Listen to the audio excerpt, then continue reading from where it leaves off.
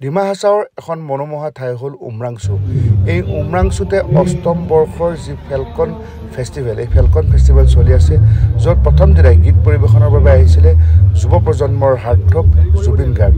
জুবিন গাৰ্গে সন্ধিয়া কেইবাটাও সুন্দৰ গানেৰে সকলোকে আপ্লুত কৰি তোলে।